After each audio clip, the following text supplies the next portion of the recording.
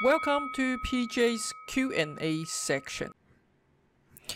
Today's question is from Margot, a YouTube subscriber. Sent me an email regarding um, making the Superman ring, and for some reason, it always has this bump and come into the bottom. So the profile is not what uh, Margot is looking for.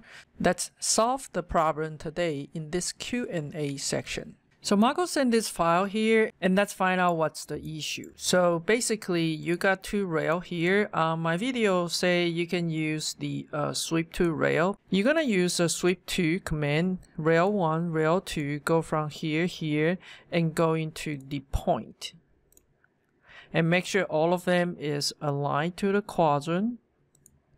This one is aligned to the middle and make sure they are facing the same direction all right so you get something like this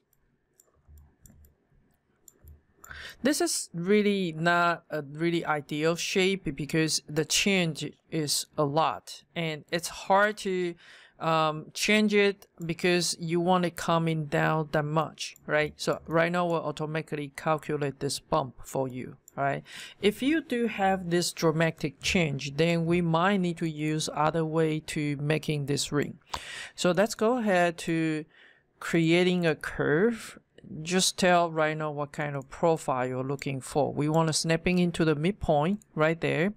Coming down to the sideway uh, side view, then we want to come over here, here, here, and coming down to giving a very gentle curve there. Uh, I want them to maybe coming a little bit more like this and snapping back to here all right and you can keep adjusting this and see if that is what you're looking for right? So that's open into the perspective. Now in the perspective I have this curve this curve and this curve. And we're gonna make half of it first right? We are going to um, let me move this in a little bit because it may close to the profile a little bit more all right so we are going to split this one and this one using the split command by those two curve. Alright, so then we will get those curve here.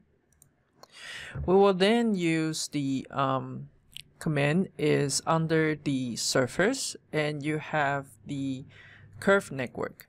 Using the curve network, we pick up the same direction um, curve first. So that will be one, two, and three. Then we will pick up the other direction, this one and this one. Okay, so then we will get this surface is much more smoother. Notice that it's not completely matching this line. It's because it will try to find the most smooth surface for you. And having that big bump is just really hard to avoid, you know, the top bump there. Okay, so once we are done, we don't want to click OK. And then all we need to do is mirror to the other side and click zero, mirror there. All right. One thing that you can do if you don't like it, um, you can turn on the uh, record history and then you can edit it at the real time. And but if you do like it, make sure you join them and also cap it.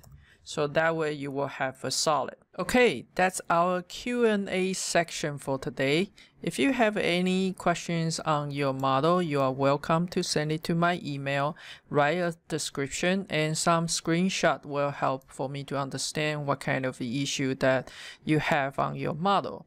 I will try to make a video here in the Q&A section. Please comment, share, like, my video and don't forget to click that little bell next to the subscribe so you will get a notification from me whenever I have a new video. Thank you and see you next.